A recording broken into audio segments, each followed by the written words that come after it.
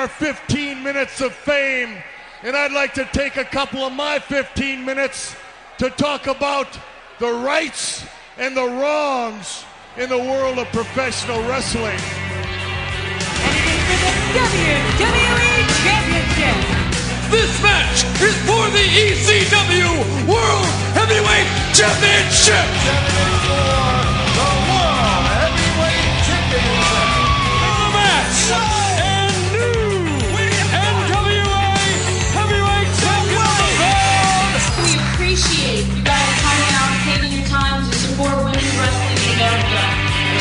For the AWA World Heavyweight Wrestling Championship. Welcome, one, welcome all to another edition of the Rights and Wrongs of Pro Wrestling Podcast. This is your host, Mr. Green, and we are going into what week is this? Week 92. Holy crap. Holy crap, indeed. Who would have thought that wow, 92 weeks later, we'd be still rolling on? Now, I didn't say rolling strong, but they're rolling on with the ups and downs of the company, with the hiatus, with the beginning in 2000, stopping, being gone for 13 years, coming back, disappearing, coming back again, disappearing one more time, coming back again. Here we are. I would have not thought that 90, they're almost up on 100 weeks. Just think about it. Wow. And I mean that both as the promotion and as a, and as a statement of expression. Wow. They've made it this far. Somebody, somewhere in that building, I will not say listen to me, but they listen to somebody. Like, stop taking these hiatuses. But you know, that's that's neither here nor there. I'm going off off into a tangent before I've even begun the show. This is Mr. Green. As stated earlier, you're listening to the Rights and Wrongs of the Pro Wrestling Podcast. And did I give the show title? I don't know. That I, I know I'll get the, the slate later, so we'll we'll get to that. I will just say that uh, my alternate show title was Revenge of the Jobbers, and we'll uh, we'll discuss all of that as we go along. In fact, we'll, we'll try to get to it as quickly as possible. I find myself carrying on and on. Wild topic or subject matter tends to make me rant longer than I had generally anticipated. But um, I, I promise I'll, I will try to do better this particular episode. So let us get into that. Um, one thing I want to do because there's a little bit of um, a question that was brought up, and I want to address that based on something that I witnessed personally. All right. So I guess we will officially say that this is the news, views, and updates section of the program. And as such, let's go through a couple of little. Uh, I was going to say incident sounds like the wrong thing to say. A couple of little stories, couple little uh, uh, da, da, da, notes that have happened in the world of wrestling, particularly women's wrestling.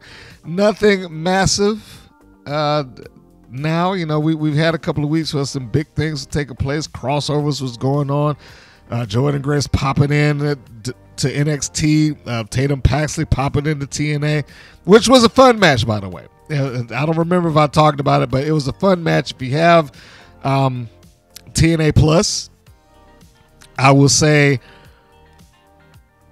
you can enjoy that match. You can enjoy the entire pay per view. Pay per view is a loose term these days, but you can enjoy the entire event. I know a lot of people would tune in just for that.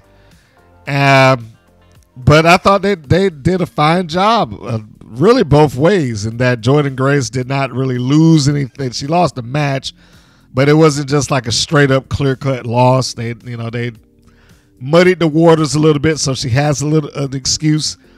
Paxley, however, went down clean. Um, that there was like mild interference or or distraction, I guess, uh, just by the presence of Ash by Elegance. but uh, by and large, the, the match was was a clean match, and I would say it's enjoyable. If you have not had the opportunity to um, take a look at it, I would. Um, the Owen Hart Cup tournament is has already begun. I guess it's not really much to say about that besides you know keep your eyes open for it. Um, Statlander has already defeated Nyla Rose in the first round, so she will be advancing. Uh, the other names that are involved in the cup, the Owen Hart Cup, on the women's side at least, are the virtuosa Deonna Purrazzo, Hikaru Shida, Kris Statlander, as I just said, who defeated Nyla Rose, Mariah May, Saraya, Serena Deeb, and Willow Nightingale. I I really don't have a dog in this fight. I honestly got more invested in the male side of the tournament, and that was largely because of a promo that Jeff Jarrett delivered, and it was it was a masterful promo, masterful. Uh, I need to write a note down so I could get back to that because there, there's a point to me bringing up the fact that he did a promo because well, you know what, I might as well just get into it now before I forget. So let's just take a quick leap over into Wildland. Outside of review, we're just going to talk about an overall problem that exists in WoW. And that is that their promos either do not go anywhere or it, they're cases of, or it feels like, let me, let me make sure I say this right. It feels like it's just repeat, repeat. What word is that? What is that? What was I going regurgitated regurgitated verbiage that has been written down for them to repeat. See, I was getting those all that jumping in together. For them to repeat once they're on camera. And none of it, or very few, has the passion or heart behind it. And it's almost as if if you're healed, they're scared to let you make people mad if you're a baby face, you can't do anything impassionately. Is it seems to be missing the boat in that regard. We're, and again, we're talking about WoW and the promos that they've given. Almost every promo I've seen in the last couple of months has been a David McLane hosted event, which he essentially becomes as big of a component in that segment as the person talking as the person that's being interviewed because he's leading them towards wherever it is that he's trying to get them to go. But they usually do not get the opportunity to just go deep and say, "Look, you know, I got something to say. Give me the microphone. Let me let me say what I want to get off my chest here." It doesn't happen. But those are the things that help sell events. Those are the things that help sell tickets. Those are the things that help sell the personality the comparable that I was just getting at was the Jeff Jarrett promo. And Jeff put up this promo on Instagram. You could probably seek it out. Where, and if anybody is aware of him in the Attitude Era, you know that he and Owen Hart were tag team partners and friends. So he was asked, according to him, he was asked to be in the Owen Hart Tournament Cup on the male side, obviously.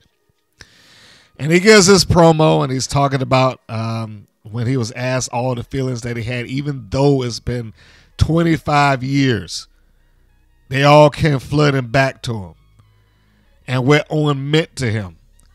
And that the night, the day after Owen died, he said, I made a promise to his kids. And he said it to his kids. He said, But I promised I was going to say it when it meant something to them, and they would understand it that their father was a good man and you could see and feel more importantly you could feel the emotion that this man had while he was talking about owen now i have no doubt that a portion of that promo was a work.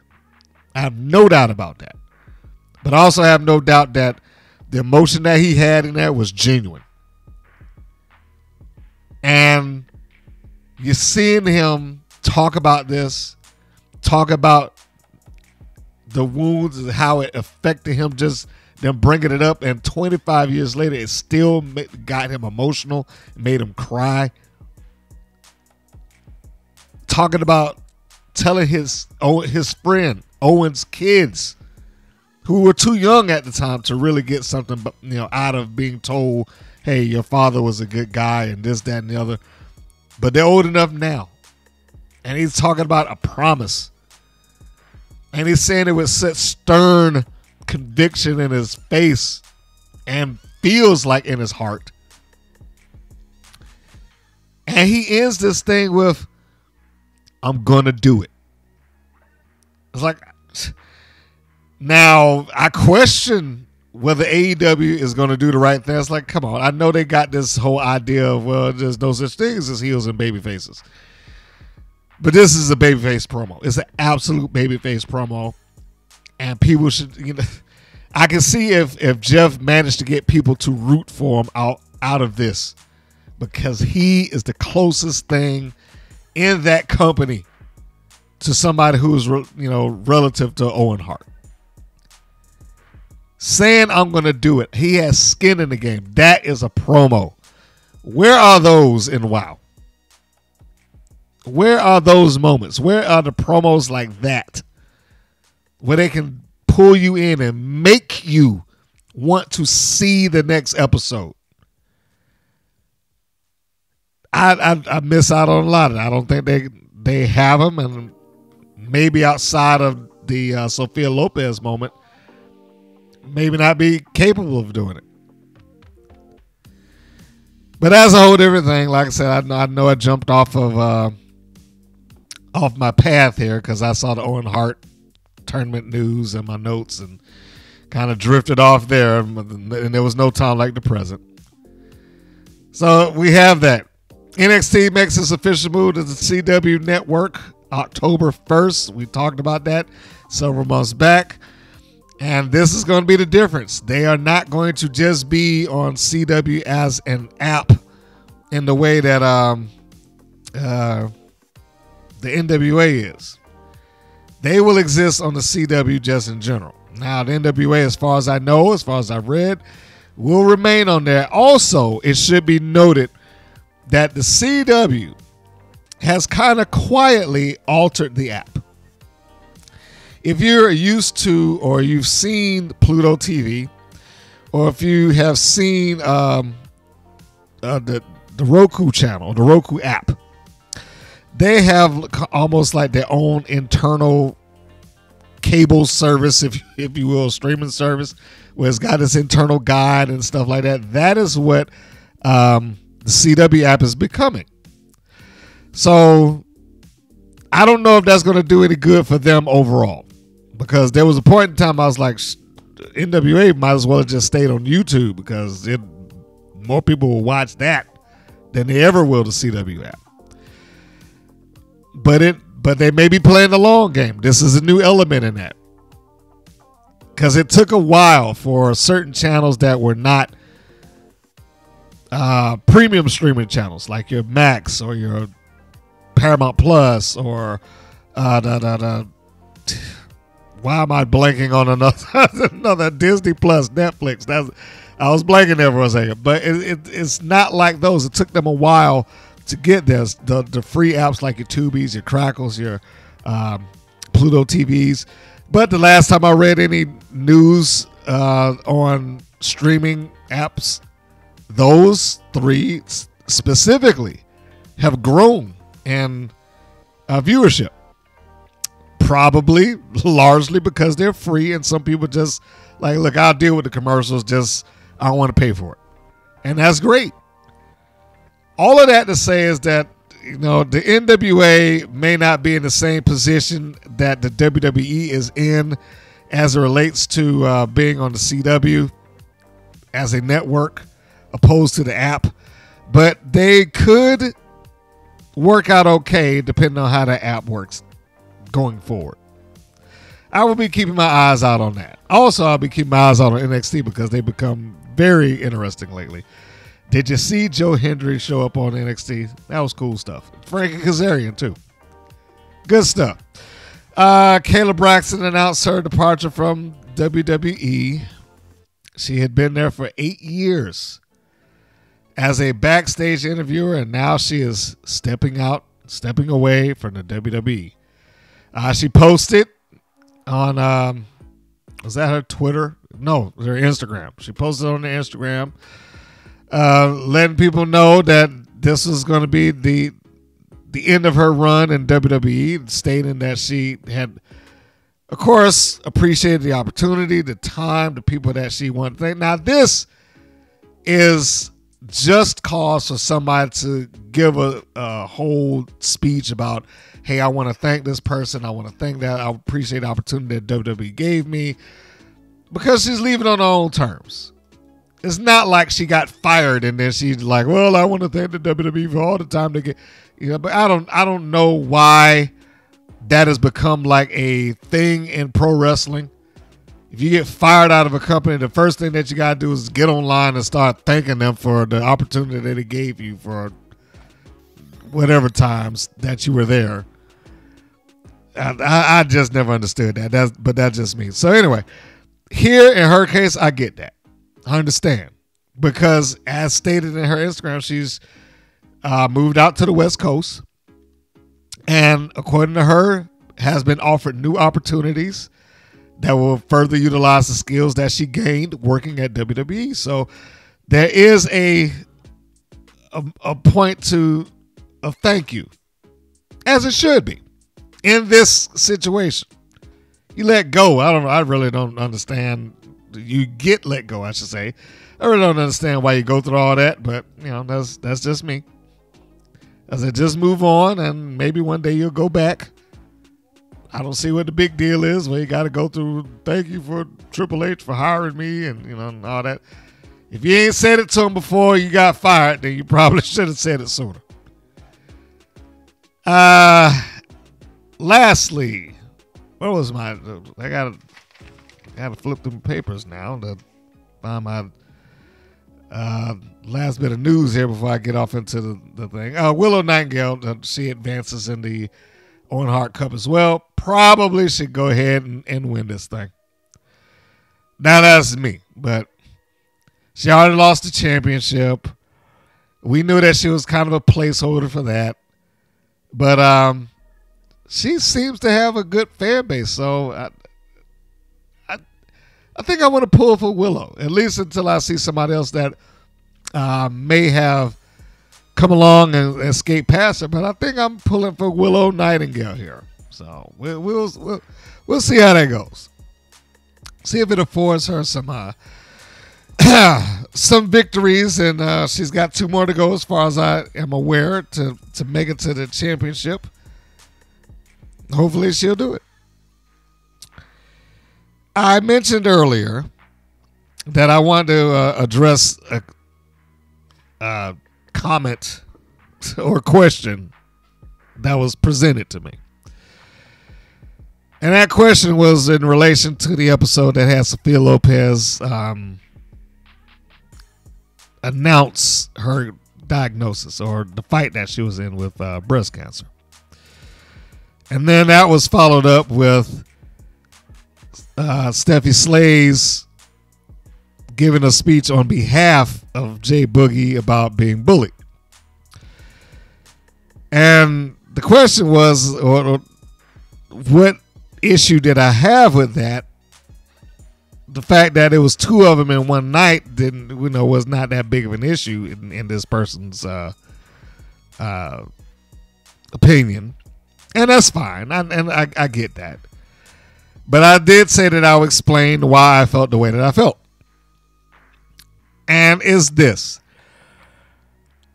when you have a pretty strong emotional moment in a television show, movie, or wrestling environment, I genuinely do not like if they follow right behind it with another emotional moment following the emotional moment. You know, it, it, it's almost like it doesn't give time for the original one to really sink in and, and you to kind of internalize that a little bit, if that makes sense. especially on a wrestling show,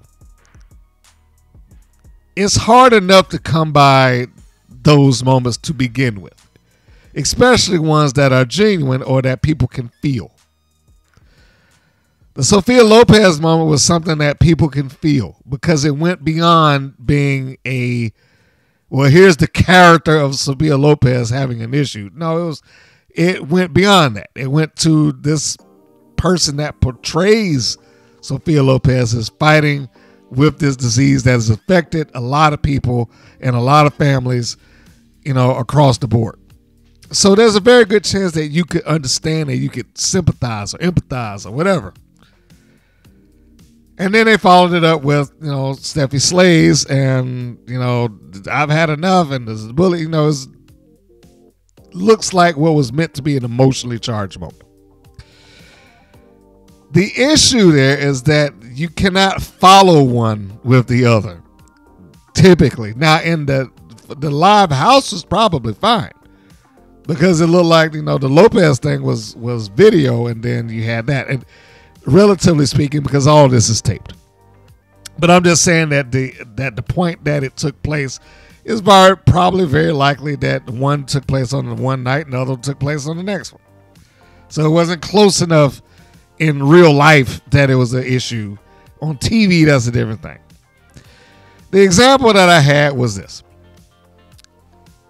and it, it was a it wasn't a horrible night in our little wrestling community, but it was one of those things. That was like seriously, like you're you're going to do this here for this thing, and it'll make sense in a, in a little bit.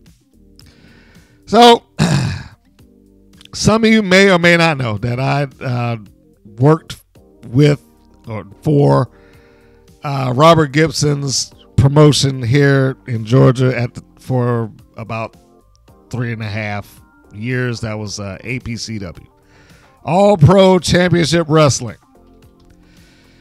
And I probably can tie in multiple things in this as as examples of what to do and what not to. So at this particular time, he being the promoter and the participants involved stumbled across what turned into a pretty good feud for them with that promotion. That being Landon Hale taking on Eric Adams.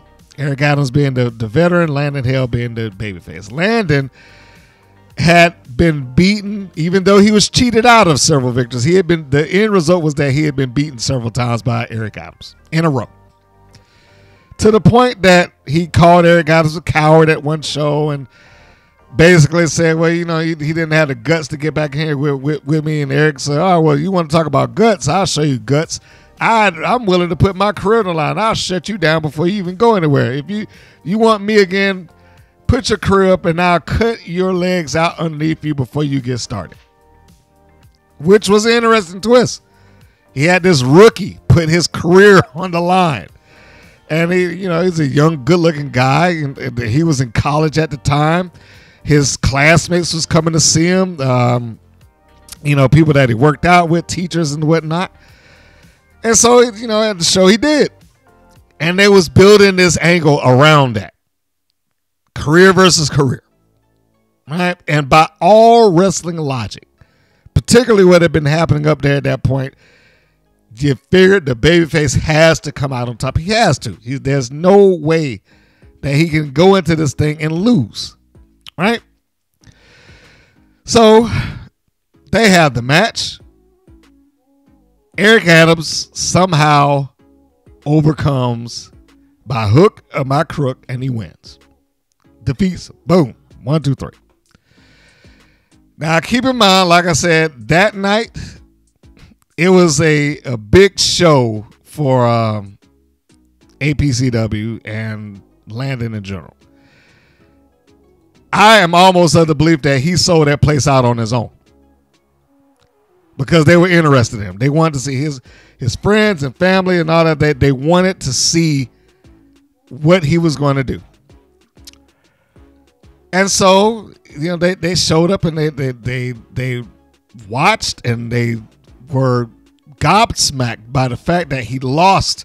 They couldn't believe it. There was, you know, you, you saw jaws drop. You saw people crying, legitimately crying in the crowd. And he was great. Got in the ring and he's teared up and he's he's milking it for everything he's worth. And his he didn't tell anybody. I, I have to give him credit. He did not tell anybody.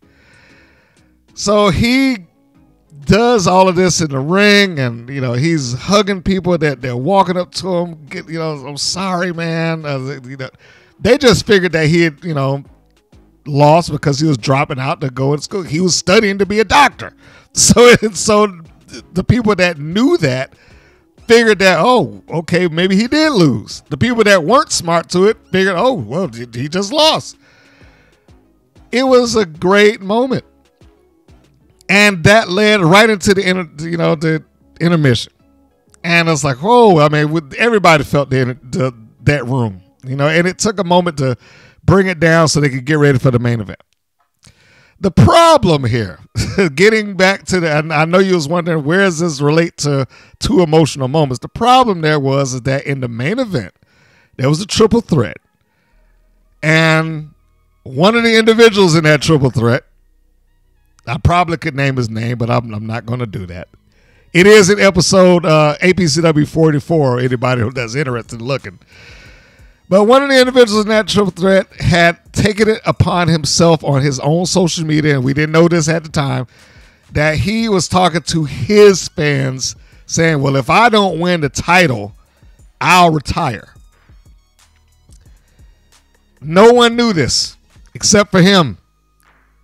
not not the promoter, not Robert Gibson, not the people he was in the ring with, not me. It's no nobody. So he has the match, he does everything, and then he comes up short and he loses. People are going out, and then he he's trying to create this emotional moment of of stepping down, taking his boots off, and putting it in the ring. I'm recording all this, and out the side of my eye, I'm looking in the in the entrance corridor, and I'm seeing uh, Robert Gibson standing there, and he's like, "What in the fuck is this guy doing?" But the, and people are walking out because they didn't know. They didn't know he was going to do that. They had no idea that there was a stipulation attached to it to begin with, because he just created it. And he did, and more or less, he did, he just decided to hijack the show. No, no one knew. I've asked several people from that point out, like, did you know he was going to do that? No, nobody knew it. He was trying to suck the emotional uh, situation that had happened 30 minutes, 40 minutes earlier and get a similar, if not the same or better response. And it just didn't work out. It it wasn't anything that you could give him. And it's like he didn't understand it. He was a fantastic wrestler. Enjoyed his matches. And he was a good guy. I liked him. Never had a problem with him. Sat down, you know, talked with him a couple of times, but for whatever reasons, he's like he.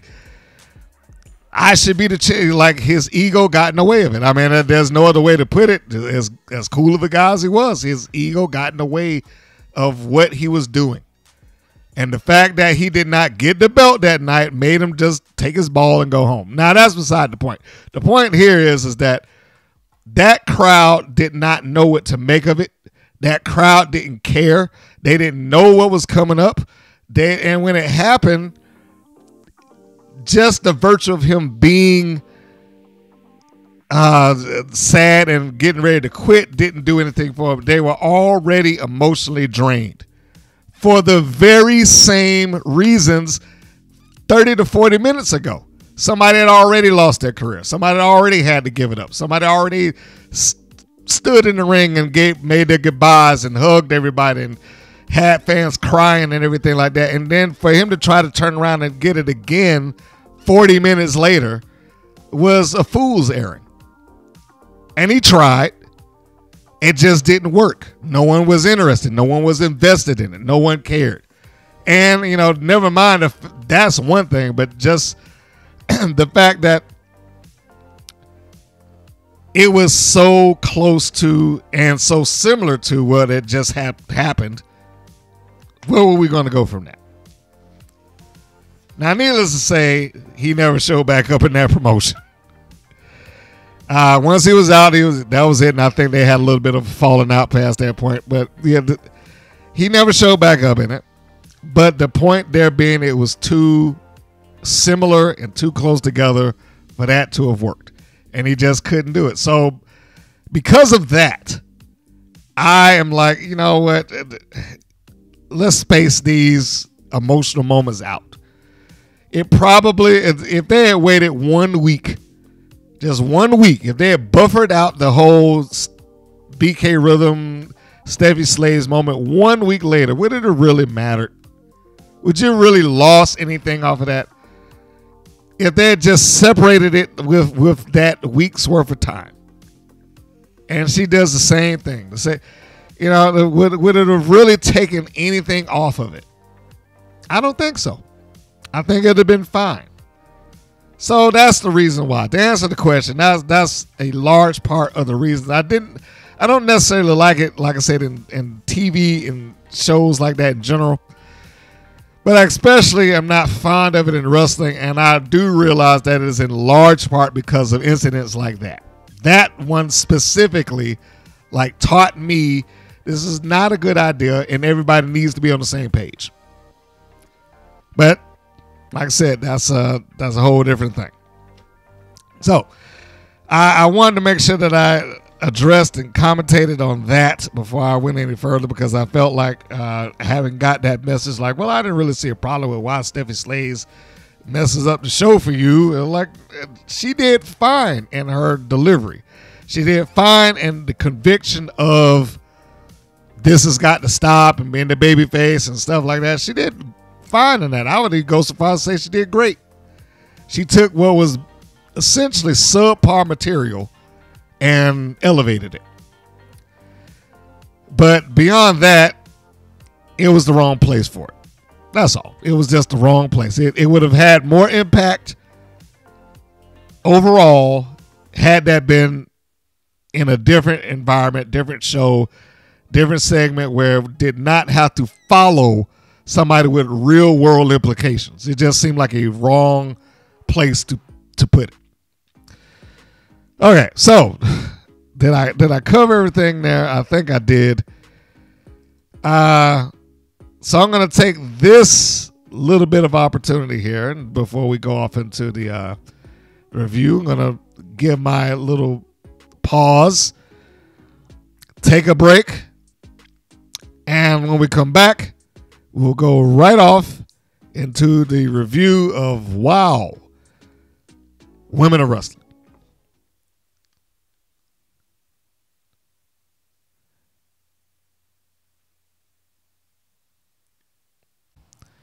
And we're back.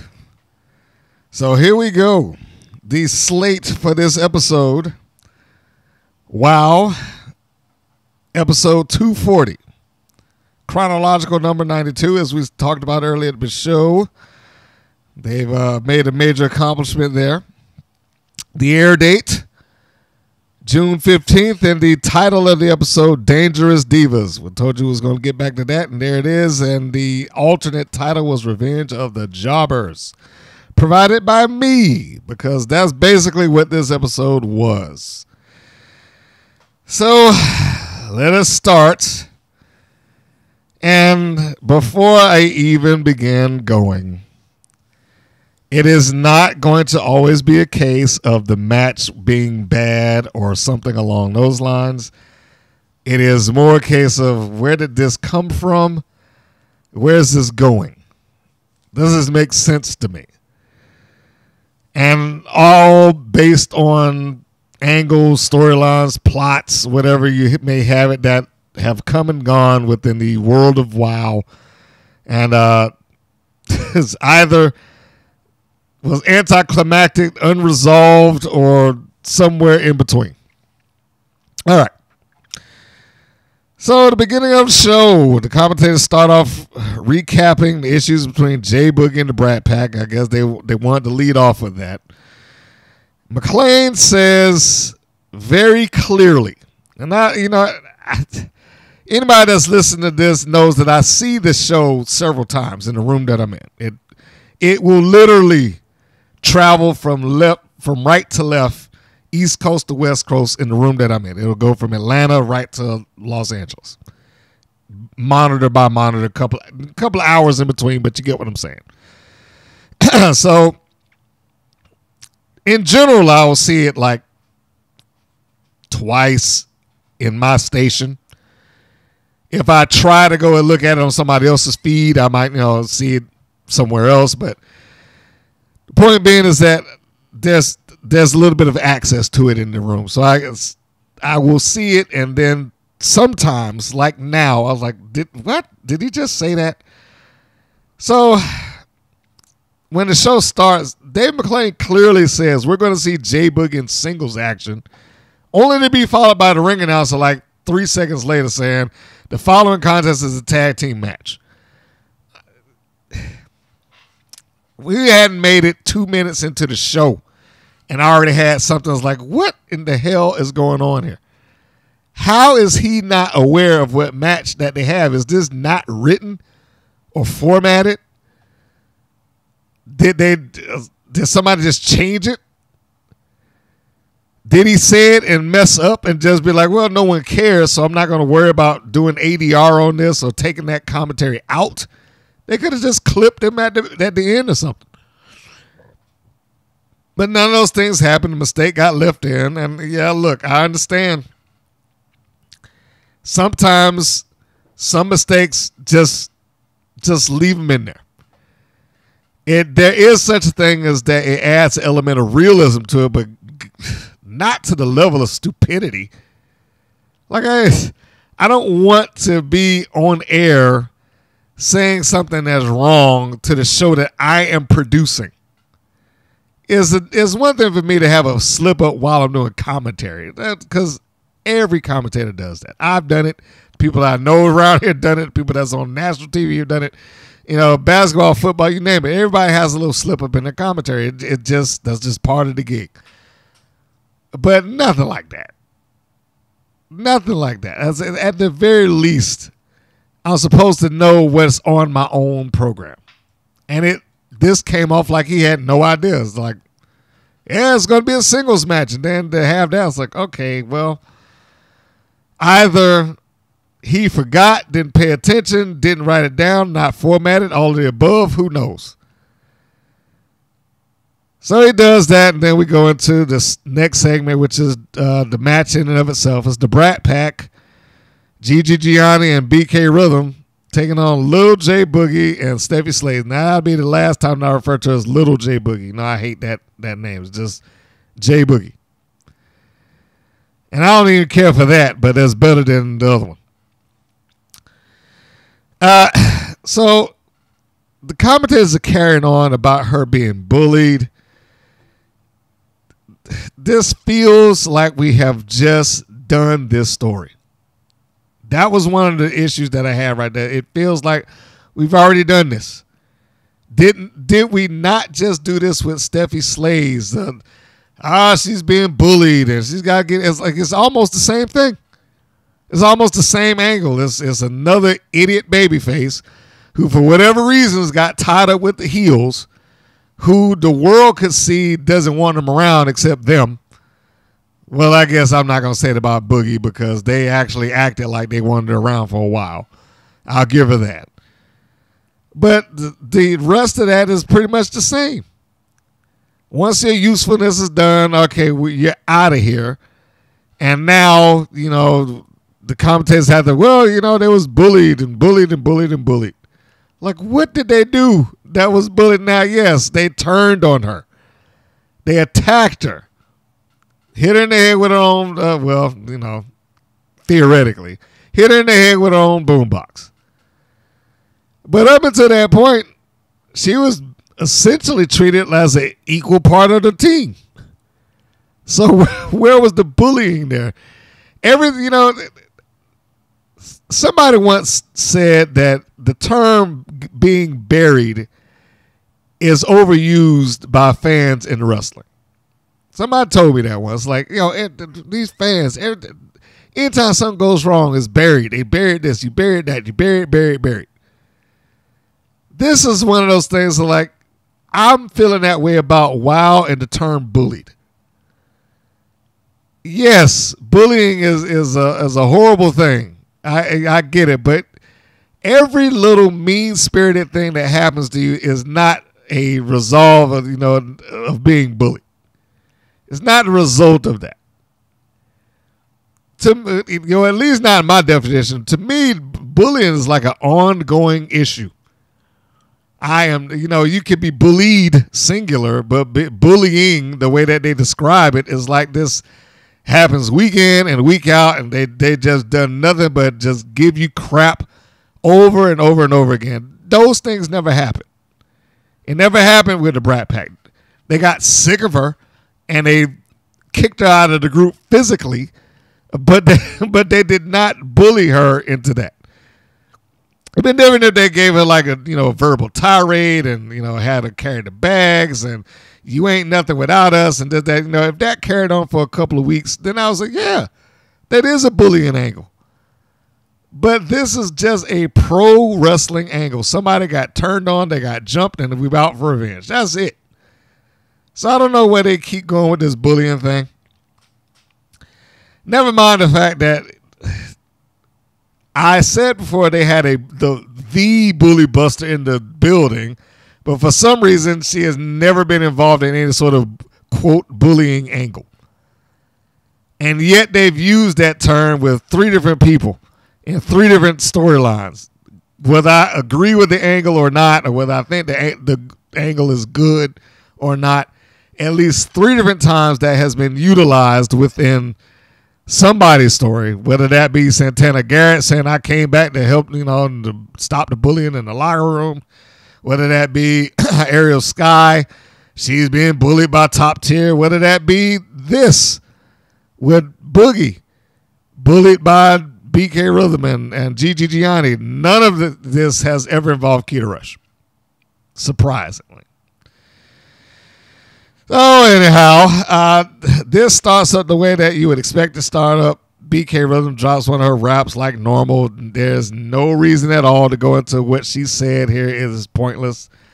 Um, the match is the the thing to to be watched here, and it's it's not all that long. The match is probably every bit of four and a half to five minutes. So it's it's it's a pretty basic match. Uh I will admit, and Zentara, this will be for you, since uh, according to you, I am now the head of uh, Boogie's uh, president of her fan club. But I will admit, this is probably the best that she has looked. Now, I don't know if that's high praise or not, considering her time in this match is fairly limited. I mean, she she got a, a couple of good arm drags in and stuff like that, but by and large, th- th- this is a very limited performance by Boogie. Stephy Slayz was in there a little bit more than that. So, take her being this being her best performance with a grain of salt. Nothing overly complicated here or anything like that. It's just she has the match. Uh, Stephy starts off with her, but uh, Boogie eventually tags in, and she she gets her moment in the sun. She gets to toss uh, Gigi Gianni around. Gigi does some pretty good arm drags for her. Gianni looks great, as I generally say with her. Rhythm also looking good in the ring. However, my opinions about the team are slowly beginning to change. I, and I feel so bad saying that. I, I do. And it's nothing that they did. It's nothing that they did to make me feel it is, is what WoW did to them that makes me feel this way. And we'll get there. So, uh, Slayz gets back into the ring, and eventually they start getting the heat on her. Gianni uh, dodges a, a, offensive charge by Slayz, and that's when they start getting the heat on her from that point out. They keep her in the ring long enough to get Boogie the I guess the the hero's charge when she gets tagged in and she can come in and clean house. Right? Not before the Brat Pack do a fairly decent tandem move. It probably could use a little bit more timing behind it. Uh, it was a like a schoolgirl trip and then a senton splash combination. It, it like I said, it would have been a little nicer if, if the timing was a little bit more instantaneous, but it wasn't bad. But Slayz is able to kick out of that.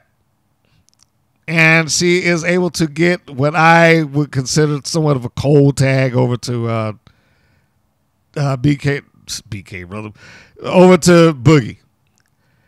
Gianni almost carries Slayz into her corner. Like she has in body slam launch position, which is a nice show of strength, actually.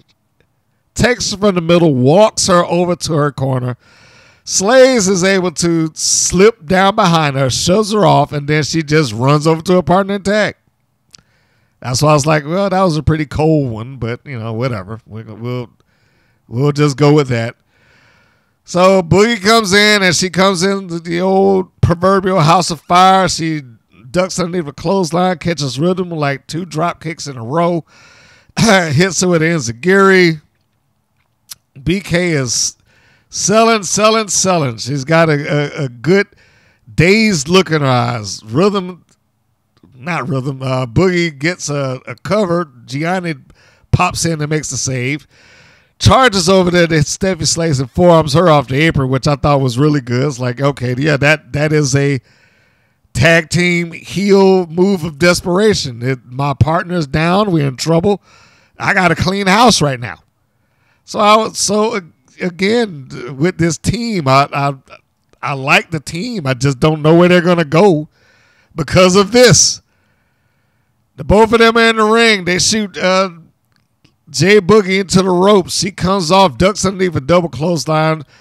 Real waist locks BK Rhythm in, the attempt to try to get her down.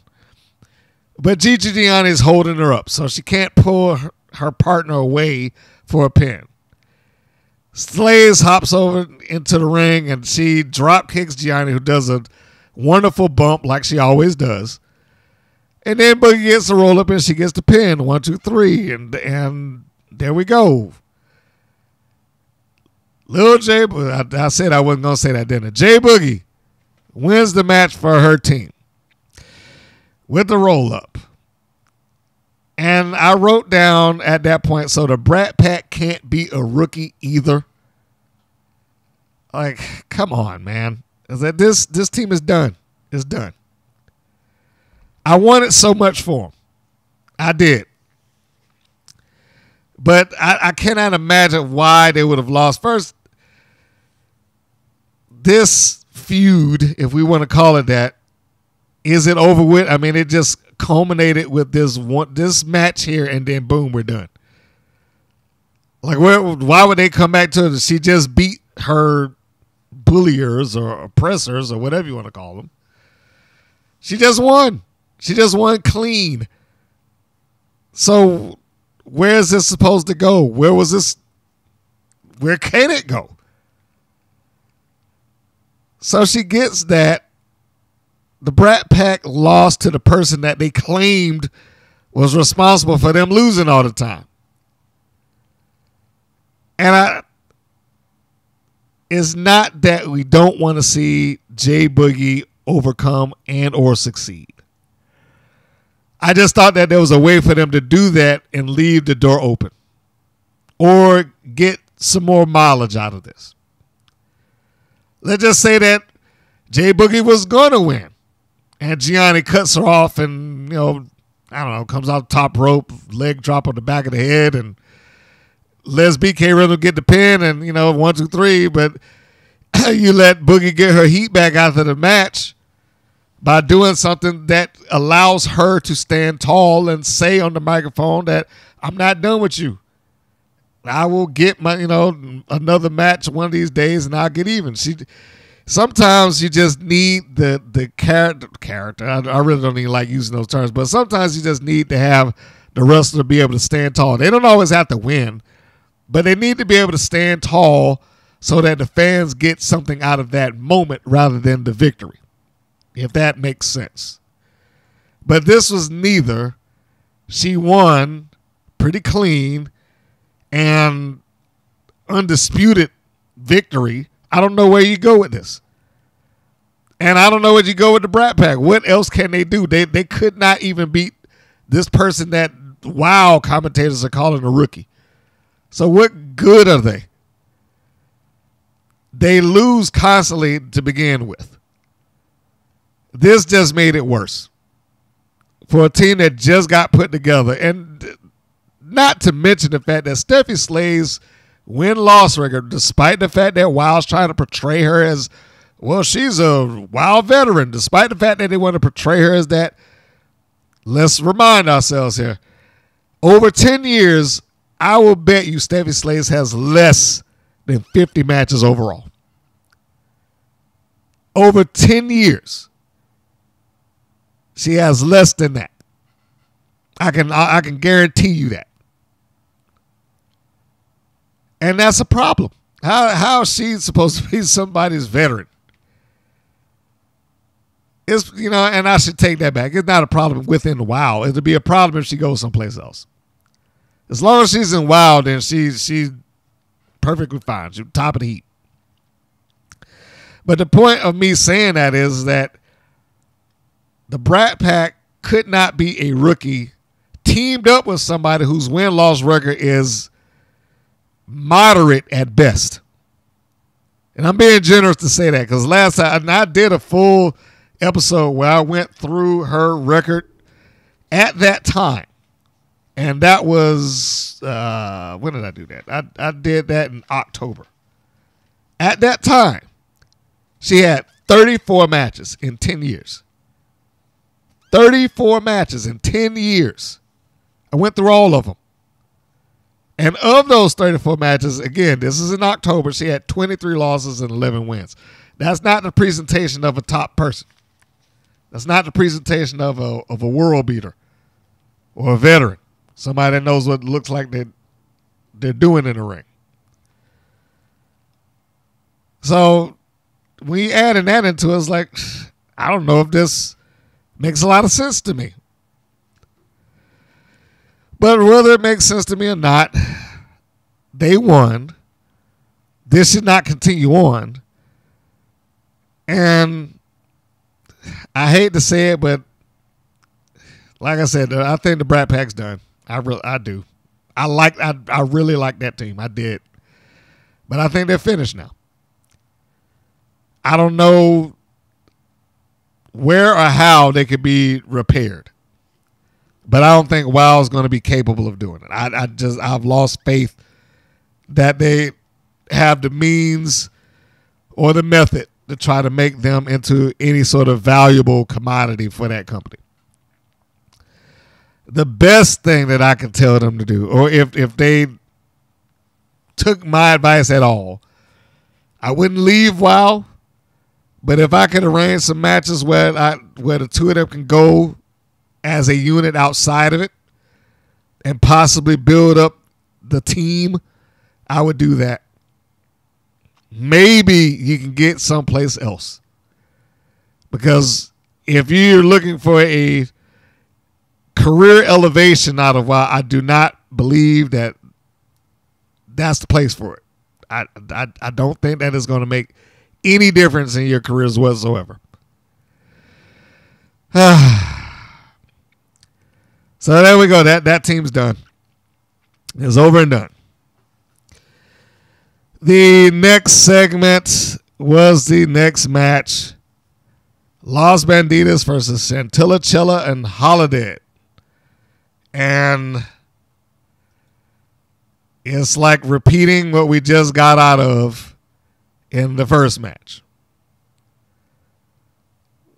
Circumstances change and now we uh, suddenly somebody who wasn't worth a crap at the beginning can win.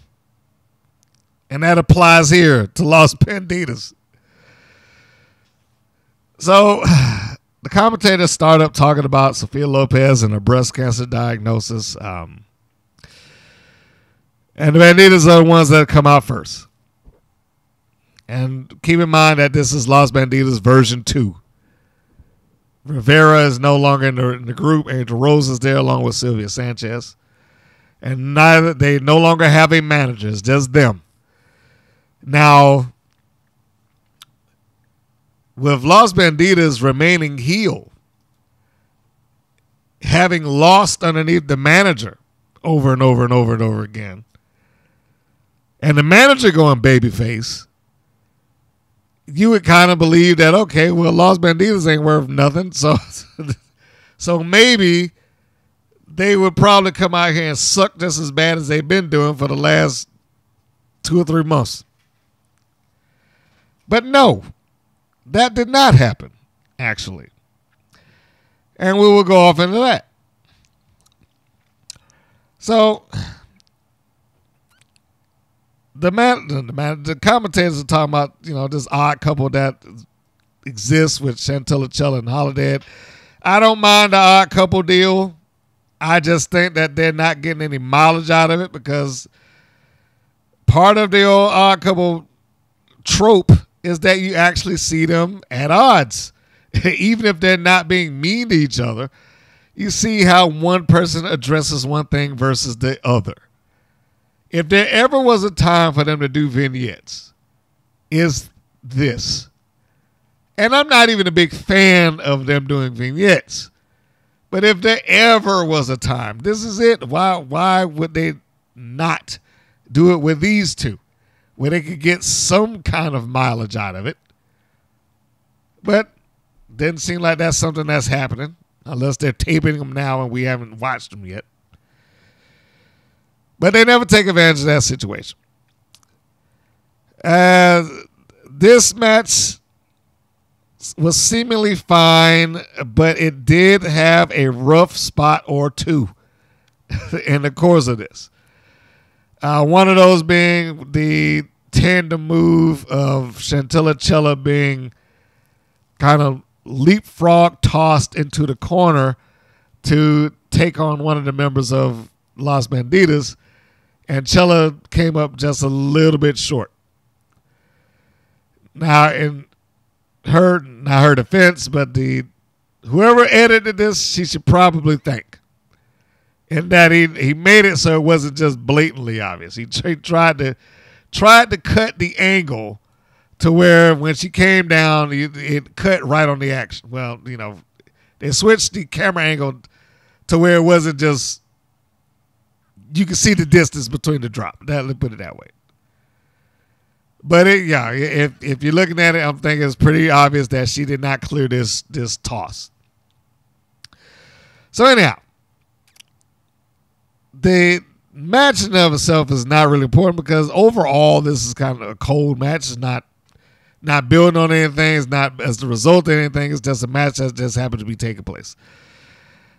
Uh, there were spots that gave the baby faces an out and they weren't just beaten. So in in the terms of the structure of the match, I, I thought it was fine.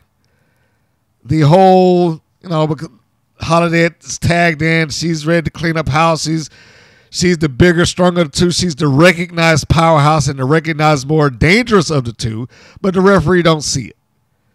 And so Chantilly who's tired and wore out, has to get back in. Angel Rose runs across and she yanks Holidead's uh, foot off the apron, so she's out of the picture. And Chella, who's on her last leg, get caught in a power slam, and then boom, one, two, three.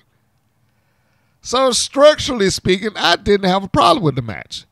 I don't know what. Let me just stop for a second before I continue. I don't know what Dave McLane was called. What is a spinning drop? Sanchez pins Chella with a spinning drop. I mean, I guess you can make up whatever name you want, but by and large, we've always called it a power slam. I don't know why it just suddenly changed. Maybe he lost his train of thought and he couldn't get it out. Like, but when I heard it, I was like, what? What is that? So anyhow, she pins him, pins her, and that's it. The Las Vegas can win now. Which then takes me back to all right. So, what am I supposed to be getting from this? What, what was this a case of Las Bandidas was good, and Sophia Lopez was a bad manager and caused them to lose? Was she holding them back?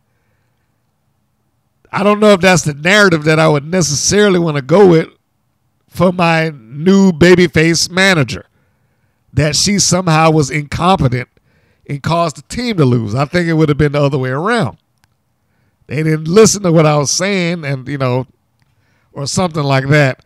That's why it's like I don't I don't know where they're going with this. It's, are they trying to say that the Bandidas were better than Lopez, or are they saying that Lopez really was good and they just didn't listen? Because it ain't clear. But in either case, now all of a sudden, after weeks and weeks and weeks of losing and them dropping Sophia Lopez, now they won. So I'm I'm forced to believe that Sophia Lopez as a manager just wasn't any good.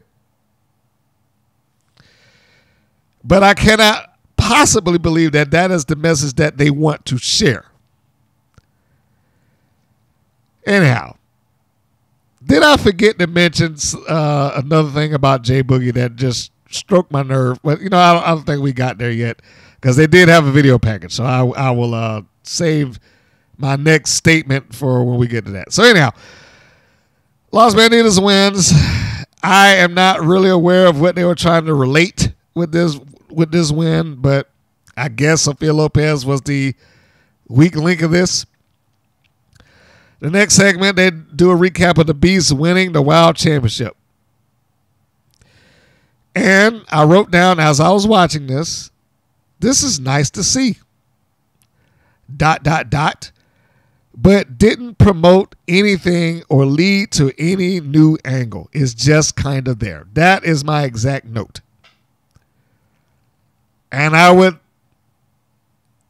after giving it time, I still stand on that. Sometimes I change my mind about these things I write, but I still stand on that. It was nice video, but it didn't do anything. It didn't. It didn't lead into a main event. Didn't lead into a, a interview segment where she kicks off a new feud. Didn't didn't address some past unresolved issue that you know needs to be brought back around. None of that. It's just it was just a recap of her winning the title, and it, it didn't didn't lead to anything beyond that. So, uh,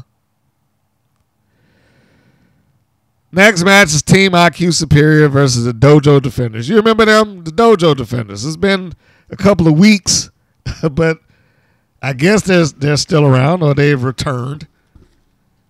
I'm not even sure the last time that we've seen the Dojo Defenders. That what is it, it has been a significant chunk of time. I'm guessing.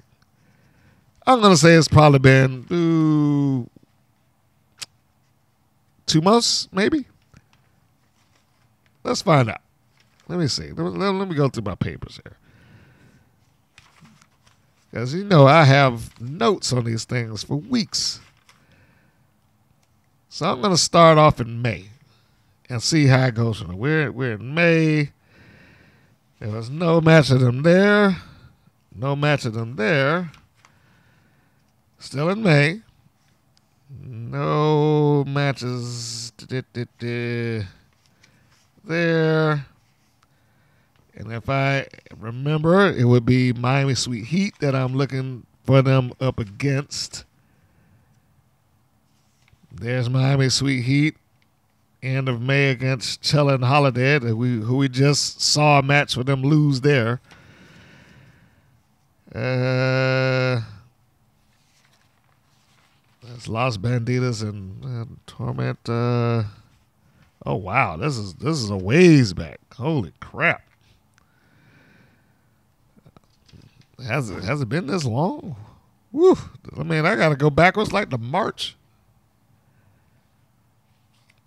Exile Team Spirit and the Mother Truckers. I mean, just I'm just seeing all these things, and I haven't seen the Dojo Defenders yet. I mean, I know they just pop up out of the complete blue. Ah, here it is. Okay, I started in May. I should have started a month earlier. The Dojo Defenders debuted and haven't been seen since May against yeah, against Miami Sweet Heat. Episode 82. So we are talking a good 10 weeks. Something like that. Yeah. It's been a while. And what a way to leave them, you know, having lost to Miami Sweet Heat and losing here. So, anyhow, yeah, that was a spoiler. Anyhow, Team IQ superior as represented by the class master and the disciplinarian, which I don't know. Classmaster still looks silly to me. And she presents as a campy wrestler. I have already said, given her height and stature, it would probably get more mileage out of them to repackage her into being a badass rather than being a goof. But that's what they present her as as a goof. Now, I'm not going to sit here and say that that is all on WoW because if I was looking at her Instagram, she is very much a cosplay wrestler as well. So it may not be something that she wants to take all that seriously. I don't know. I'm just saying that I think the mileage in her or the the the equity in her, however you want to phrase it, would be largely if she was presented as somebody who could get in there and get the job done. Rather than coming out in the cap and gown and the book and pointing at her head and think people, I'm going to teach her to read a book and all that, you know, stuff that she does. It it just she it's just silly. It's just silly. And then, you know, it'll start off that way, but then during the match at some point they have her do the strong person stuff and the domination stuff. But you got to be able to, to be presented as a real threat sometimes, not just be silly. And I don't know if she's capable of doing that. I mean, first off, the name the class master is just absurd. What is a class master? I haven't had anybody answer me on that yet. Like, because if it's just a glorified name for a teacher, then they need another name.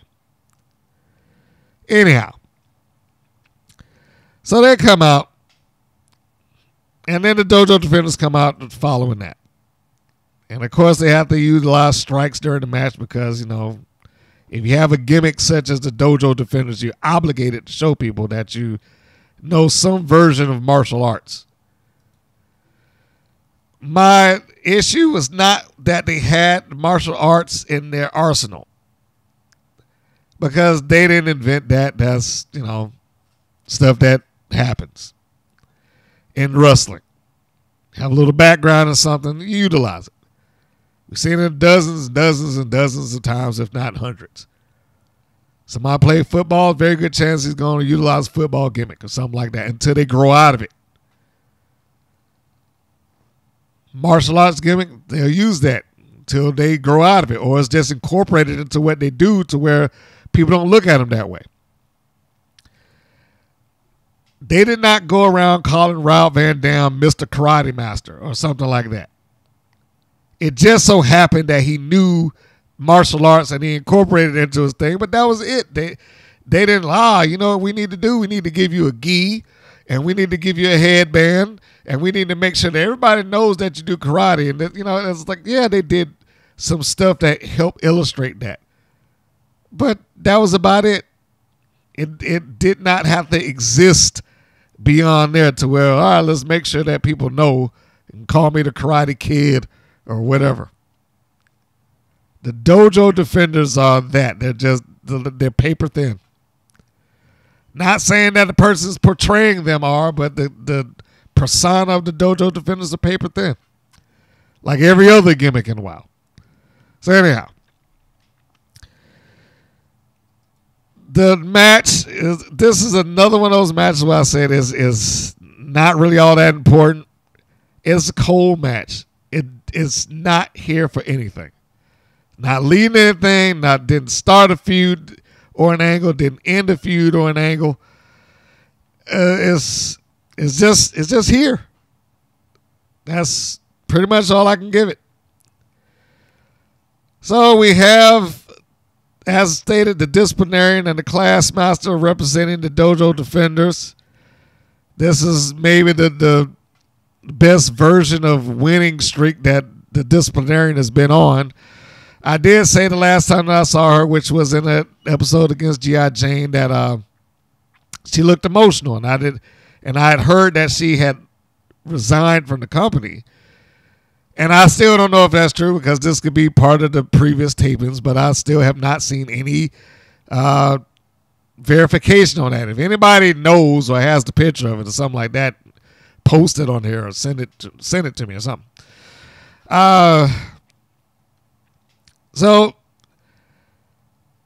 the Heat, which one is this? I can. This is another one of things. Like I, I can't stand the, the Tara, Kara Strike and Kara, I, I, you know what? I'm not even gonna go through that. Let, let, me not uh, let me not make a fool of myself. I've missed out the names because I don't feel like looking it up. It's not that important. Uh, the one in the black, she took the heat for the good portion of this match. Takes a dive to try to get through the class classmaster's leg so she can get a, a pin in there they had points in this match where the Classmaster is illustrating dominant and power. And I thought that was great for her, and she should be that way. She towers over most everybody in there. But then she'll go and ruin it by, ah, let me point at my brain and show how smart I am. Or, or something like that. She, she'll go and revert back into being silly. Same way at the end, especially at the end. She just reverts back into just being silly. And that's all like pick a lane with that. Pick a lane and stick with it. So Dojo Defender Black is in there and she's taking on the, the Team IQ and she's fighting back. She got to give her credit. She's fighting from underneath. The other one I know is Tootie Lynn. I just don't remember her Dojo Defender name. Dojo Defender Black gets the, the tag. The Dojo Defender Silver. Silver gets in there. She starts cleaning up. Utilizes her strikes. Classmaster comes in there and and for a moment, her height is neutralized by Silver as she's you know a couple of forearm shots. Enziguri charges in, gives a big, a nice looking uh, forearm shot in the corner. Also, nice single leg in the corner. And then she hits the spinning DDT, and you would think that she might be able to do it. But the size, the length, the height of the Classmaster works her advantage because her legs are spread out underneath the, the bottom rope, which on its own should be enough to, to break the, uh, the count. Uh, in some wrestling organizations, by the way. Maybe I shouldn't apply that in a while. But she does the what the thing that WoW needs. She gets her leg up and she puts it on the bottom rope. And both Samantha Smart and the disciplinary like, look, look, look, look. You know, it's just on the ropes. So the ref breaks it up. Class Classmaster gets walked over to the corner. Dojo Defender Black comes in, and now both of them try to double team on the Classmaster. And then this is where she has her her muscle moment. They're trying to both send her into the ropes, and she stands her ground. She stops herself and neither one of them are strong enough to move her. So she moves both of them. She just pulls back and they both go running towards the ropes. Silver is yanked out of the ring by uh, Samantha Smart. And then Black is, as the legal woman, gets caught in a choke slam. And that was it. One, two, three. She gets pinned. If I got more of that class master rather than the one that I saw in the beginning and the one that I see at the end, I would say that there's some money to be made there. But she won a few times in the match, begins to wrestle technical. I was like, she shouldn't be wrestling technical. She should be power and she should look the the she should look the part. You could probably steal a couple of eyeballs if people believed that she was a a dominant force. I don't know if people buy her as a dominant force yet. She's been so up and down in her booking. When she got there, she was losing everybody. And then slowly she worked into being, oh, I'm stronger than there. I'm taller, bigger, and stronger. So I'll just start being that, even though it's not consistent. So there are these moments where she has these little shining uh, rays of hope in the middle of a match, but then it just reverts back to I'm the class master. Give me my cap and gown. You people need to read. You know, nonsense like that. So they got the win. And they stand proud and tall, and she does what she does and puts on the, the cap and starts looking like an idiot. And then Samantha Smart gets on the microphone and cuts a wild promo. This would be the typical heel wild promo. I have, I, I, probably need to go back through some, but I have basically determined that if you relate the following information, you are probably good at cutting a promo in WoW as a heel. We just won. We're better than everybody else. That's first thing. Second, I need a shot at the title, fill in the blank or whatever title that is. Third, David McLane, you are stopping and or give me a shot. If you can relate those three things in the course of any after-match promo, you're probably good enough to talk and wow. They all basically do the same. Now, we're not talking about her delivery because her delivery has gotten much better, in my opinion. I think that she is growing into who Samantha Smart is. But what I also think is that she probably could not do that on her own and probably would not be capable if it were not written. Now, I don't know if it's written, but my gut at this point telling me that yeah, this is stuff that's probably workshopped or written out before she steps out there. I would love to find out that I'm wrong. If I'm wrong, let me be wrong. But I, I think that this is, you know, this is just who she is. I don't I don't think that a, a improv microphone moment is part of her forte at this this time. So they stick to the stuff that works for them. What I just told you. Relay these three points, you're fine. She also missed her her spot to cheat in the match when uh they had Dojo Defender Black hanging over the ropes and she took a kick at Samantha Smart and she backed up and then they pulled uh the defender to the ring, and she she being smart took a little swipe, but she missed. So she she's still got some heel gr- manager growing to do. Heels constantly blame David McLane. I've said this numerous times, feels like every week, because they always do it.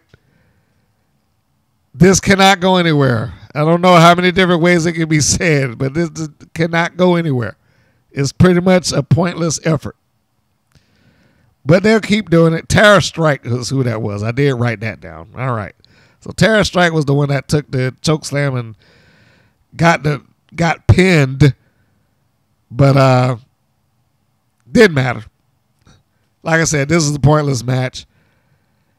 And I don't know if any promo asking for a title or a title shot goes anywhere with WoW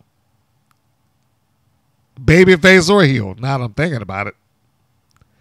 Unless it's somebody that Dave McLane just specifically likes, like the Beast. Other than that, I don't know if anybody else ever got the effort of having the management bend over backwards to try to accommodate their their, their wants, wishes, and dreams. you know, now that I think about that, that does sound kind of fair. like Jesse Jones got screwed over, Princess Ozzy got screwed over. Other people got to jump through hoops to get matches. Everybody except for the Beast. Beast, you deserve a shot. I'll take care of you. Don't worry. oh God. Anyway, next segment is the J Boogie video package. Why did they have this now? They presented this like she just got there.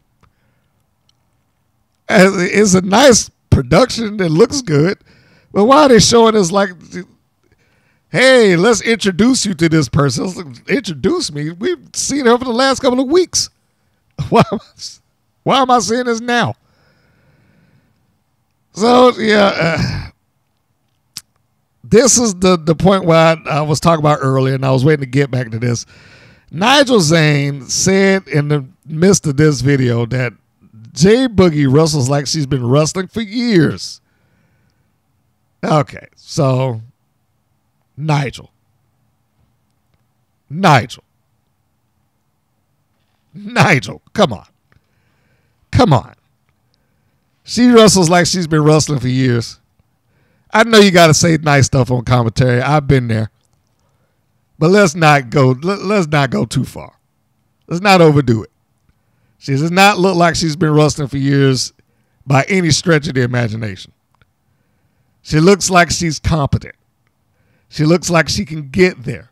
She looks like she has enthusiasm for what she's doing. There's any number of ways that that could have been rephrased, but like she's wrestling for years, no. I am sorry, but I am going to have to disagree with you there, sir. And as a side note, you know what I just realized when I was going back through some of the videos on my uh, channel?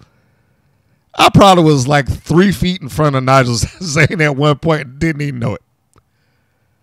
I, I didn't it, it didn't cross my mind because I was working at the show at the time. But at Deep South Wrestling, uh, I was covering an event, one of my favorite matches, which I did call the Woad versus Crystal Rose for the Shine Nova Championship. But at the beginning of that video, if you go look at it, there's a Nigel Zane standing there introducing the match, which again, did not cross my mind that it was uh, that he was there until I went back and watched. And I'll I'll even do you a step further, peel back the curtain just a little bit more, considering the fact that I was a, I'm a one man band. The person that you see working the camera, that's me.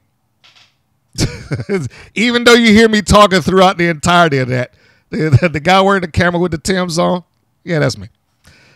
so so that's probably one of the few times I'd admit to that because I, I never really wanted to do the, the uh, I didn't want to break the illusion of the person that's shooting this on the video you're watching is actually calling a match on the video you're watching. Yeah. Yeah, you gotta do that sometimes. Hey, it's TV, man. It's video.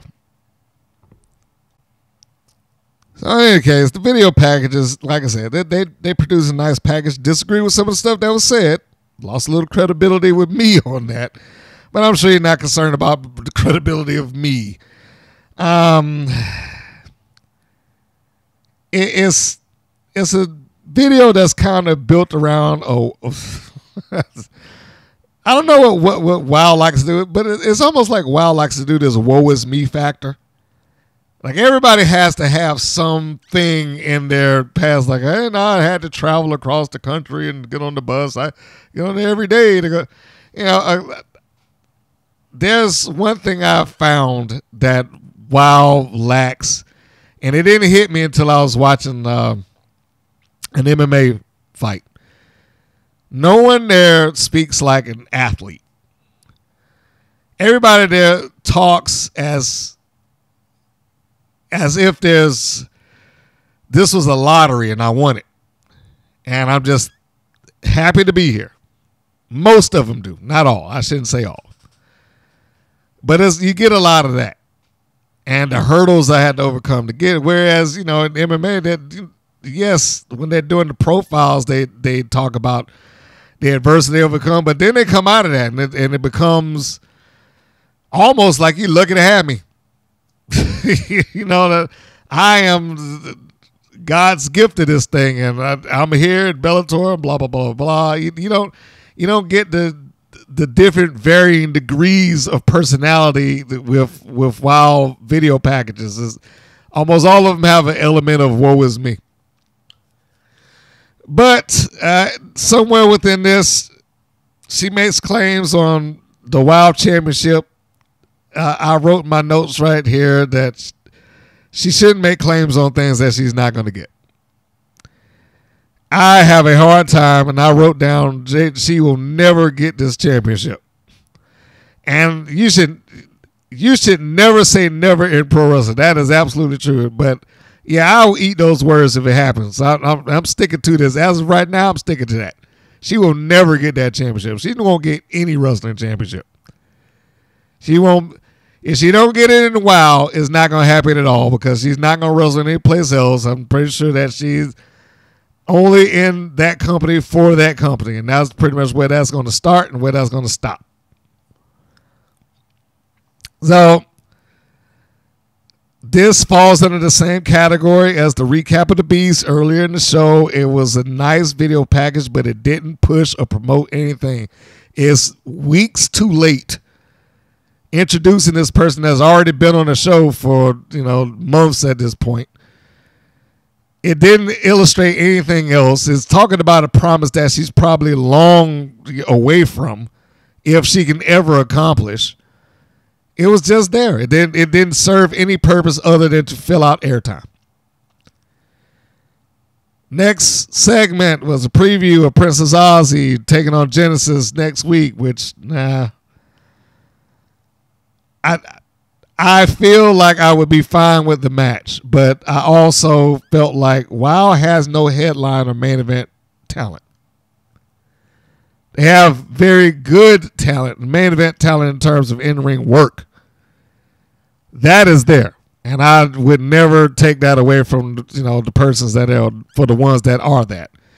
If you've listened to this at any given point, you know I, I feel very highly about Jesse Jones as a as a worker. I I love her stuff. Love it. And she is main event talent. In my view. She might not be the most flashy person that that gets in the ring, but she in my world is main event talent. She's not presented as that. No one is. No one in the wild is presented as main event talent, and, and that being one more important than the next. WoW feels like it goes out of his way to try to keep everyone on the same playing field, more or less, with the exception of the Beast.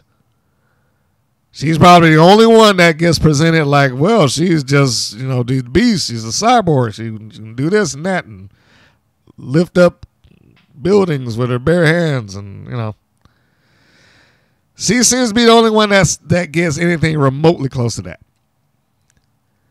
But outside of that, no. I mean, I just, when I looked at this preview, I was like, I, I like Princess Ozzy and I like Genesis, but I I keep using the guys that walk in and out of the room, the coworkers that's there all the time. You know, I, I keep using them as a barometer.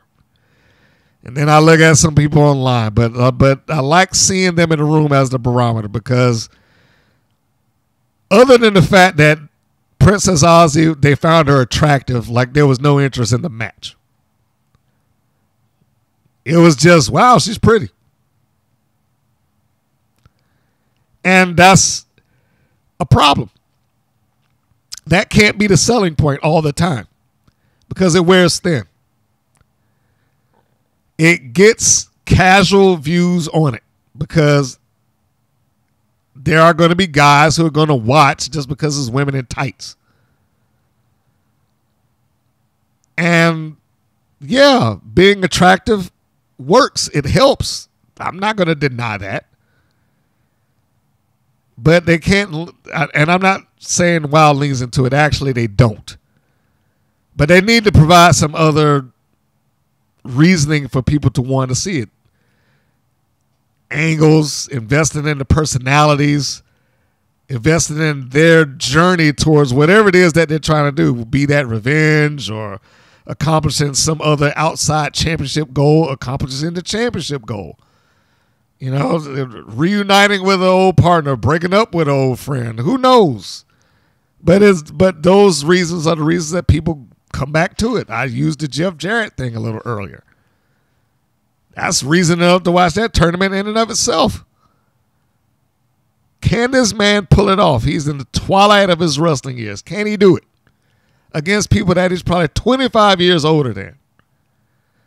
At a minimum. Can he pull it off? WoW doesn't have any of that. And being an attractive person amongst a sea of attractive people does not really help. After, well, like I said, after a while, it, it, it wears thin. It's just one of. So, I mean, it, it was just a thought that passed my mind as I was watching this and I saw that. And, and then I thought, following that, I was like, wait, is the angle that she was in already done? Are we finished with that? Because I, I, I don't know.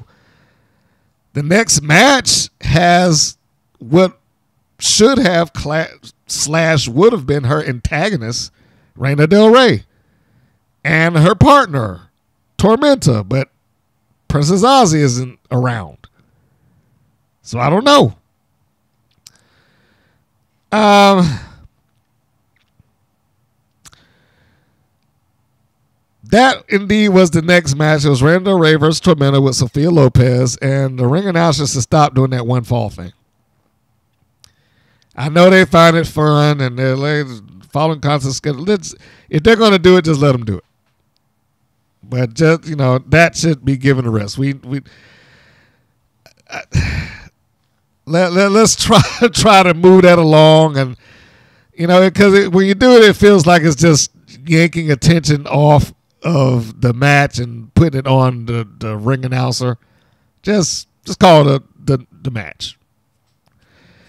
Anyhow, I mean, because look, she's she's again another pretty face amongst pretty faces. She's going to get somebody to look at her just because she's there, and she's got a sparkly dress on. We don't we don't have to get something else to draw her attention to. Doing the holding the microphone up for them to say it, doesn't help. If there, if the mic is going to pick it up being held up in the air, is going to pick it up while you're holding it in your hand where you were. Anyhow, uh, Del Reyes without Andrina, uh, Andrina, Adriana Gambino. Gotta say it right. She's come out without her. So I don't know what's up with this angle. Is it's in, in limbo, I guess. I don't know. Uh Lopez is the baby face that she wanted to be. I think that is sorry, microphone slip. I think that is very evident that this is where she wanted to be in the first place. Um, if you've ever seen her socials or you've seen her when she came out as Sophia Lopez, with the exception of when the bell rang, she wasn't really healed up all that much. Not heal, H E E L E D, not H E A L E D. She wasn't really healed up like that um, all that much. It was one of the first complaints that I had about her, and I, I like Sophia, but I was like, why is she coming out here handing out business cards and smiling at you know young children? Is confusing. Are you a heel or babyface? And at the time she was supposed to be healed. she just didn't behave that way until it was like right in the middle of the match. And maybe a little bit afterwards. But this feels like this is everything that she wanted to be. She's back to, you know, out there smiling. She's changed her look. She's not wearing the wig anymore. She's got a, a more glamorous styled dress. Still carrying the Halliburton briefcase, and now she's handing the business cards out again and back to where she was. But this time she could do it and they can reciprocate. They go, hey, you know, they're, they're happy now. it it just feels like this is what she wanted to do in the first place, and she.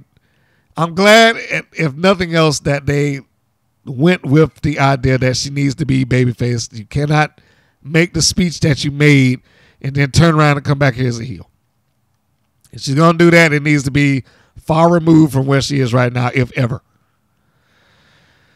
So they come out, and it's a nice look for her. I, I, I don't think anybody's going to argue that point. And it looks as if the Tormenta Lopez connection will remain, uh, at least going forward. This during this main event, they advertised uh, Siren and Chainsaw versus 20 Spring Break 24 7. Uh, they, they talk about that. I was like, hey, you don't want to miss it. I was like, I don't want to miss that. Seriously? That match? That's the match I don't want to miss? That goes back to what I just said. WoW has no headline or main event talent. I don't know why. If I were going to go off of the theory that Siren and Chainsaw are worth tuning in for, and they're probably more worth it than the other two, why would I tune in for Spring Break 24 7? It is a they are a losing team. They haven't said a word about who they are or why they're there since they've been there. You only see them once in every blue moon. What about announcing that match would make anybody want to see it? Like I, I don't have I legitimately do not have a good answer for that. What about that match announcement would make people like, yeah, I got I think I want to watch that.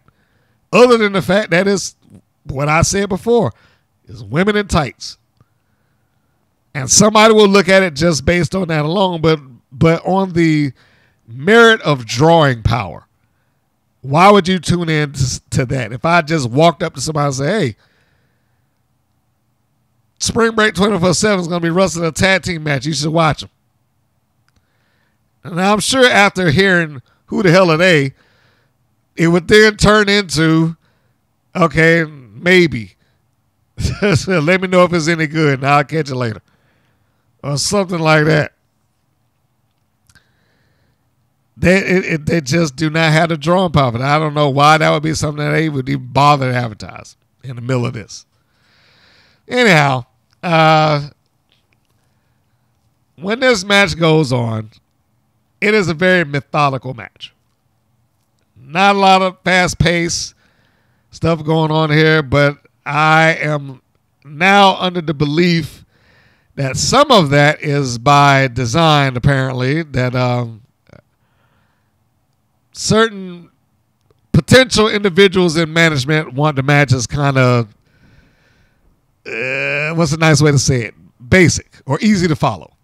That that that that's a good way to say it. But there's not a lot of uh, problems other than the fact that I, I know that both of them have worked quicker paces elsewhere before.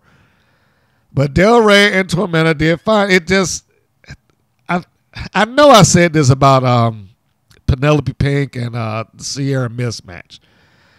But there are times when I see matches that take place in It's like this match is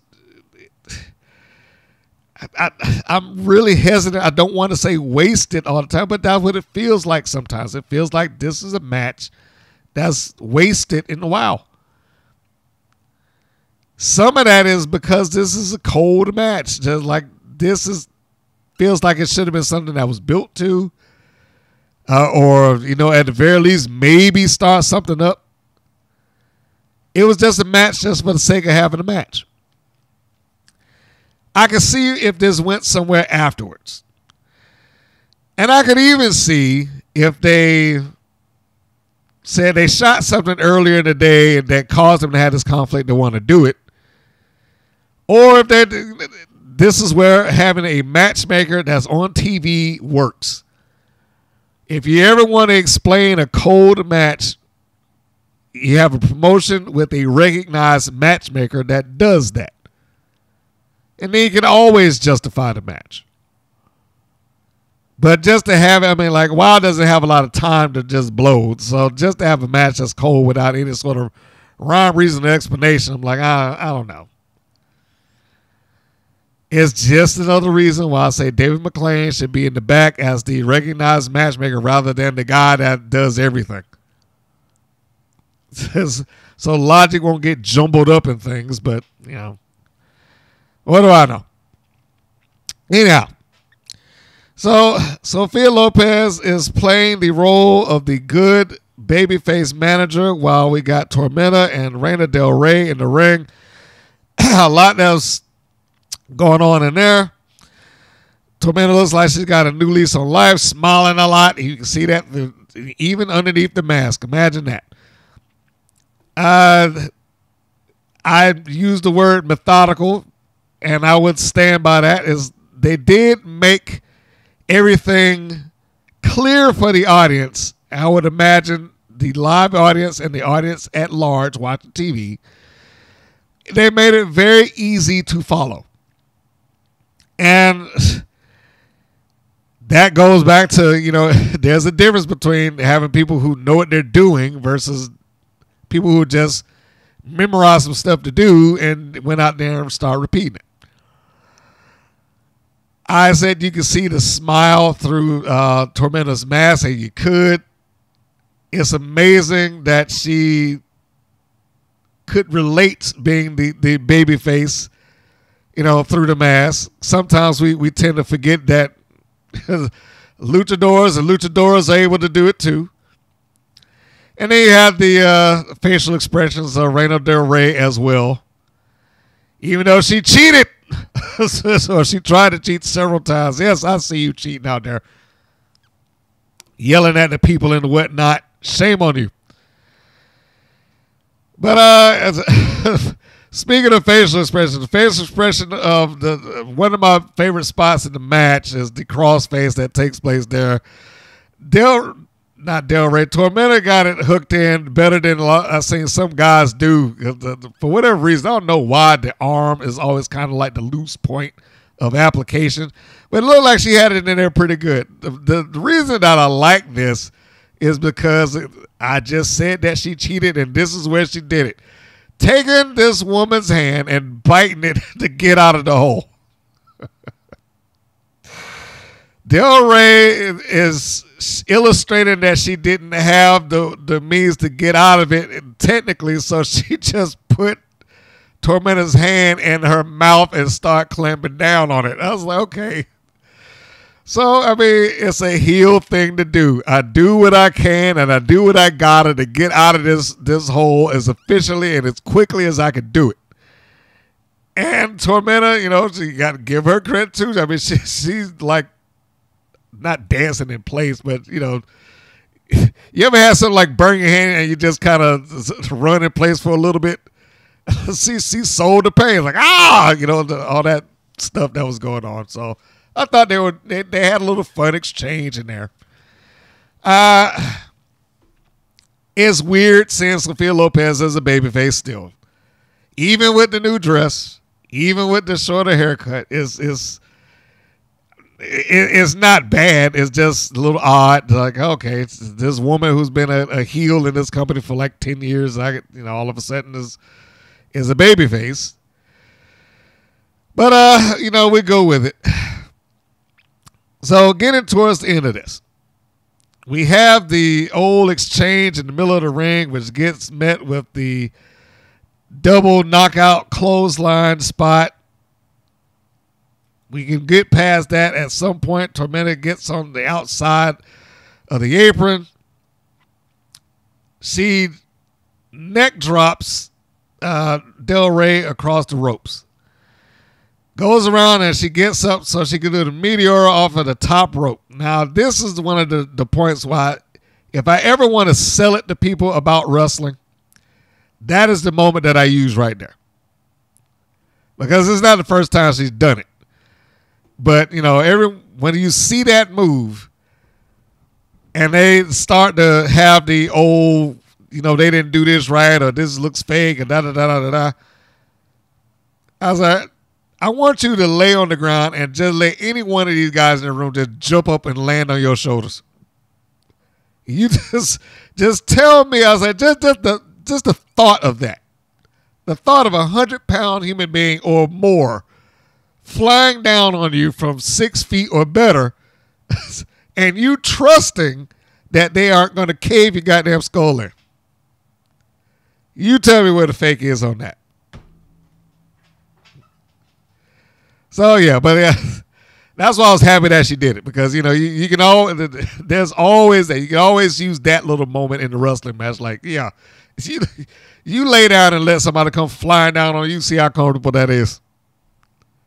It, they have to get used to it, but yeah, you you you try that one time. Anyhow, so anyway, the match was won by Tormenta with the meteor off the top rope. One, two, three. She gets the pin. I think it said said uh, Tormenta and Lopez are full babyface now. I don't know if they're going to continue on with Aussie, but they look like they're they are continue pairing. Which then goes back to my logic, like, okay, well, now we're on the other side of the coin where Sophia Lopez got cut loose from Los Bandidas.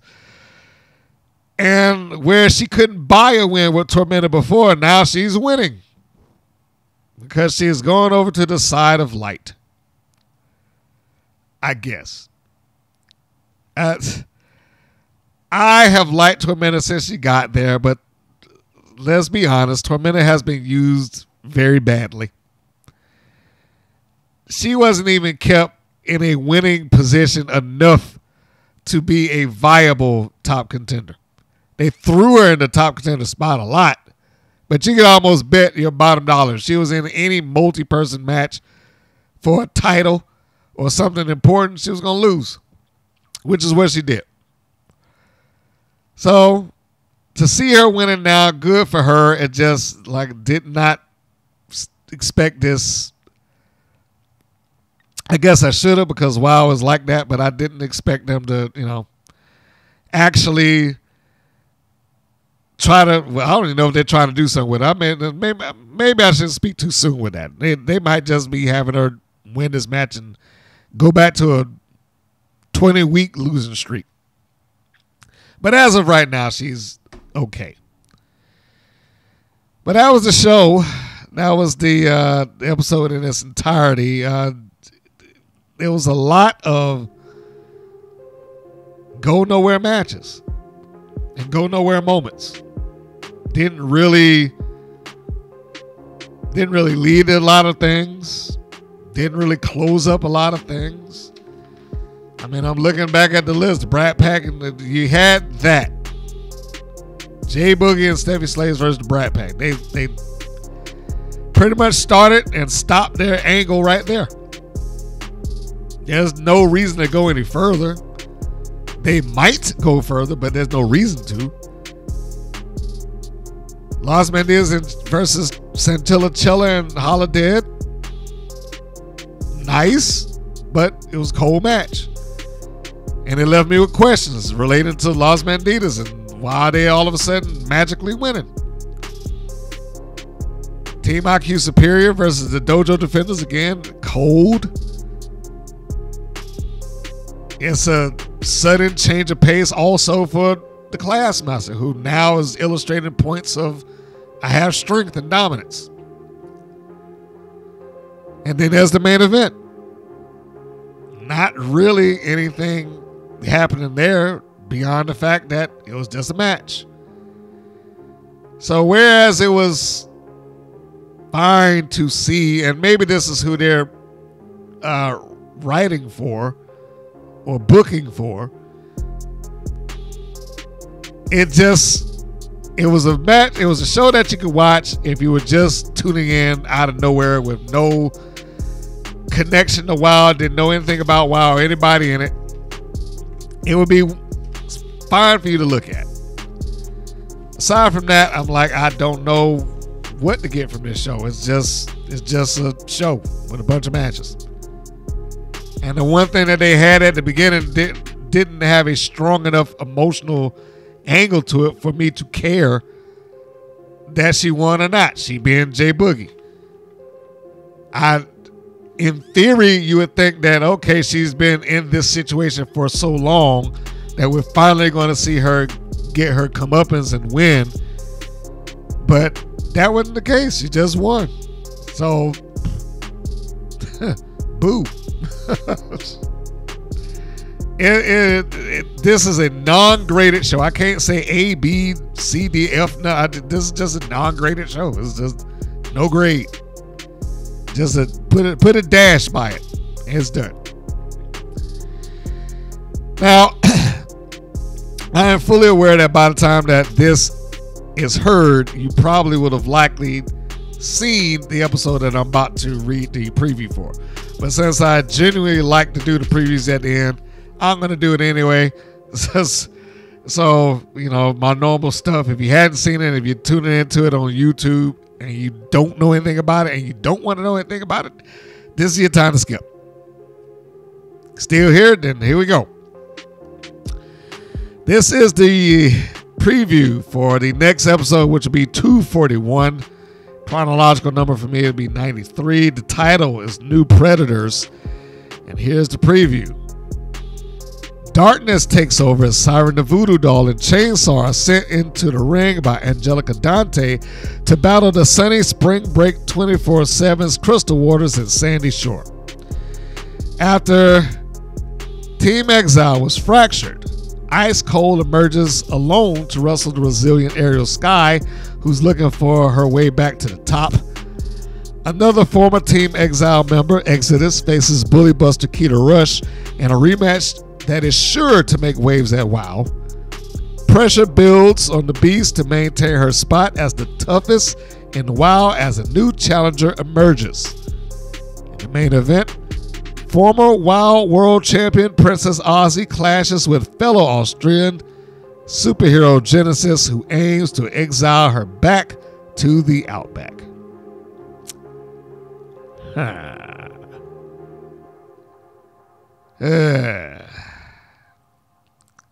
Like I said, that first match means nothing to me. that is no reason that I would ever tune in. Uh, Ariel Sky and Ice Cold. I'll have to wait and see that one, but it feels like the blind leading the blind.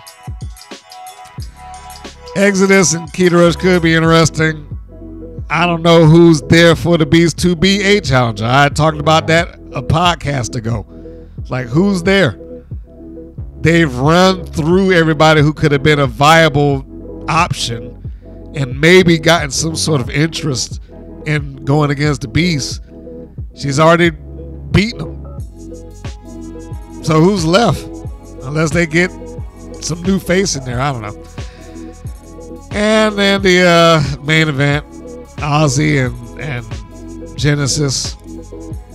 We'd have to see where that goes. I would I would expect that Genesis would be the one that would be pushed there, but time will tell. And I think that finishes things up.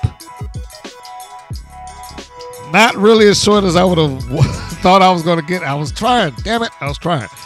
But I couldn't get it. Uh, so, in any case, the normal stuff here. Thank you for tuning in to the show. I appreciate it. And I appreciate all of you that have tuned in and reached out and messaged and direct message, caught me on Instagram, Facebook, email. I really wasn't expecting what I got. And the, the uh, uh, comments on certain matches. uh, the, the nomination for me to be the, J. Boogie's president of her fan club. I appreciate that too. Uh, but thank you for all of that.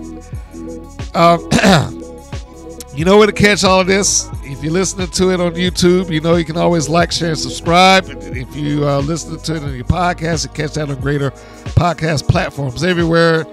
If you do not know where to get it from that point, you can always go to WPN wrestling.com. That is the website and the centerpiece, and the nexus for everything that I do, including a 24 hour, seven day a week stream that is there on the channel all the time. It's on there right now. You might be able to see some former faces that you may recognize, some that you don't. Some you might know from WoW, some you may know from NXT, TNA, AEW, some WWE. But you have to tune in to see. If you want to go through the channel itself, never really talk about this, but if you're going to go through the channel itself and pick out some of those matches, you can always go to the YouTube channel and go down to our playlist of WPN Showcase. Those were all the matches. I think it got up to 89, 89 different matches. It was actually more than that. 89 is how many that were numbered since 2013. So there you go. You got some uh, stuff that you can check out. Got some options.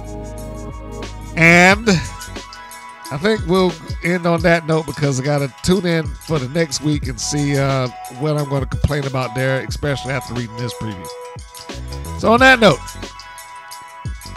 this is Mr. Green saying that this is Mr. Green saying so long, and we will see you on the next go around. Take care, everybody. Thank you for listening to the WPN's Rights and Wrongs of Pro Wrestling. If you have questions or comments, please contact us via our Facebook or our YouTube channel at the Women's Pro Wrestling Network. If you're new to the WPN, feel free to subscribe to our channel and like our page. We appreciate your support. Thank you again for listening.